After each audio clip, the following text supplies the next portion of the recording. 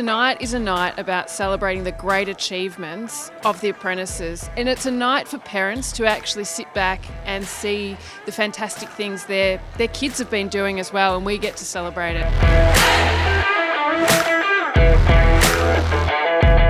A great thing I've noticed this year is the diversity of genders as well, which has been fantastic to see a lot of girls coming through the Apprenticeship Awards now. We're launching tonight our student membership, and this is really an opportunity for us to look at the future generations and make sure that they've got the right training, resources. It's about connecting and networking, providing mentors, discounts for these students, and really creating a community and a network that they can be a part of. Um, a part of the Master Builders Association. A night like this is not just about uh, obviously awards, but it's also about a reflection about the hard work and due diligence that most of you in this room here have accomplished over the last 12 months within your industry.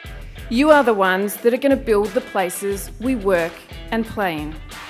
And it's clear, looking out here tonight, that the future in Victoria is bright.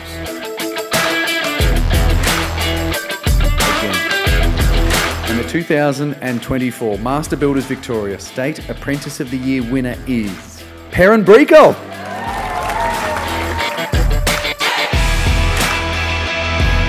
If you can see it, you can be it. If you've got a passion, go out there and bloody get it. Well guys.